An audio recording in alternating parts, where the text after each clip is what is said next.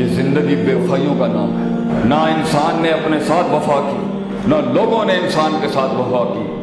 یہ بے وفائیوں کا سفر ہے بیٹا، یہ کڑوا سفر ہے زندگی کا۔ اس میں صرف تو ہوگا، صرف تو ہوگا بیٹا۔ نہ ادھر کچھ ہوگا، نہ ادھر کچھ ہوگا، صرف تو ہوگا۔ اور جب قومیں اور قافلے بھی تیرے ساتھ جڑیں گے، تو یہ کتابیں پڑھ کے لفاظیاں نہیں کر رہا۔ وقت کی آگ میں جل کے شیخ عاطف کھڑا ہے آپ کے سامنے آج۔ میں اپنے تجربوں سے اپنے بچوں کو، اپنی اولادوں کو یہ کہہ کے جا رہا ہوں، بیٹا، جب قومیں آ جائیں گی، تب بھی تو اکیلا ہی ہوگا۔ لیڈر کی شان یہ ہوتی ہے، وہ مجمع میں بھی تنہا ہوتا ہے۔ یہ تنہائی اس کی زندگی کا معراج ہوتی ہے۔ یہ اس کو اس کو ورثے میں نصیب ہوتی ہے۔ تو کبھی بھی آج سے یاد رکھی۔ سچ کی قیمت تنہائی ہے۔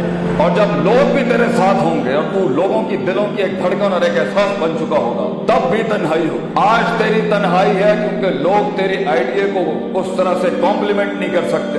اور کل تیری ایک تنہائی ہوگی۔ لوگوں کے آگے تو اپنی کمزوری کا اظہار نہیں کر سکتا۔ لیڈر کی قیمت ہی یہ ہے کہ یہ سفر اس کو نظریاتی لحاظ سے، جذباتی لحاظ سے، باطنی لحاظ سے، روحانی لحاظ سے اکیلا کاٹتا ہے۔ اس کے برعکس ایک غلامی ہے جو لوگ ڈیفائن کریں گے تیرے لیے کہ تو یہ ہو جا۔ جو معاشرہ تیری لمٹ ڈیفائن کرے گا، یہ غلامی ہے۔ جو گھر والے تیری لمٹ اور حدود اور قیود ڈیفائن کریں گے، یہ غلامی ہے۔ When people wanted you to fit into the system جب لوگوں کی متاجی ہوتی کہ لوگ مجھے اپریشیٹ کرتے لوگ مجھے ریکگنائز کرتے میں نو مان لیں کہ میں کوئی چیز ہے جب لوگ میرے ظاہر کی عبادت کے اندر مشغول ہو جائیں سجدہ دیتے ہیں لوگ مجھے۔ اگر اسی میں رہنا ہے اور خوش ہے اس کے اوپر، اب بنا لیا کچھ اپنے آپ کو کاسمیٹک ورژن کے لحاظ سے، تو فائن لیکن کچھ بریڈ اس دنیا میں نہیں بنی بیٹا۔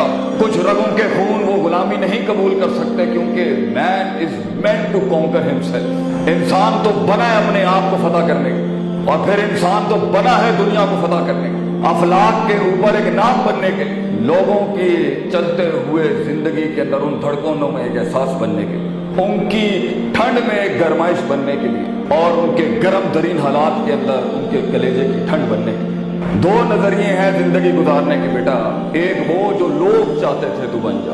ایک وہ جو لوگ چاہتے تھے کہ اس سے آگے نہ جائیں۔ بھائی، اس حد تک کی ڈیفائنڈ لمیٹڈ فریڈم کے تو ہم قائل ہیں۔ اس سے آگے مت جائیں۔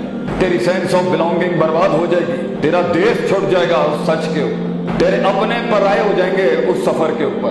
لوگ جو صدیوں سے جھوٹ پلاتے آئے اپنے آپ کو تیرے اور سچ بولنے سے بیٹا وہ نیزے اور چھرے تیرے خلاف ہو جائیں گے، وہ بھی کام مانگیں گے تجھ سے آگے۔ کہ یہ بات نہ کر، یہ خواب مت دیکھ۔ یہ ارتقا کی بات مت کر، یہ ایولیوشن اور ڈیورسٹی کی بات نہ کر۔ سب کچھ ہے تیرے پاس، ہم ہیں تیرے پاس، معاشرہ ہے تیرے پاس۔ اور دوسرا نظریہ ہے کہ میں ڈیفائن کروں گا میں۔ میری بربادی بھی میں، میرا ضرف بھی میں، میرا مزاق بھی میں، میرا لطف بھی میں، میری راحت بھی میں، میرا فرا میری فرا بھی میں۔ میں بنوں گا اپنے لیے ایک شوخی اور میں ہی بنوں گا اپنا ایک زوال۔ میں ہی اپنا عروج ہوں اور میں ہی اپنا زوال ہوں۔ میں ڈیفائن کروں گا کہ میں کون اس زندگی کے اینڈ میں ہو سکتا ہے تو وہ نہ بن سکے جو سکسیس کی فینٹیسائز ورژن کی ڈیفینیشن ہے۔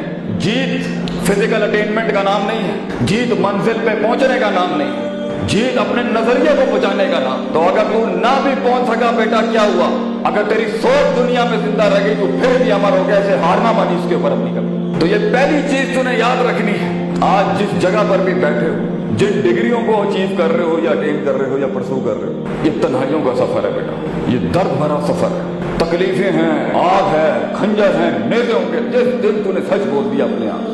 لیکن تو نہیں جانتا تو کہاں تک جا سکتا ہے۔ تجھے ان گلیوں کو طلاق دینی ہوگی بیٹا۔ تجھے ان محفلوں کو خیر بات کرنا۔ وہ غار جس نے میرے نبی کو چھتیس سال کی عمر میں دنیا سے علیحدہ کیا۔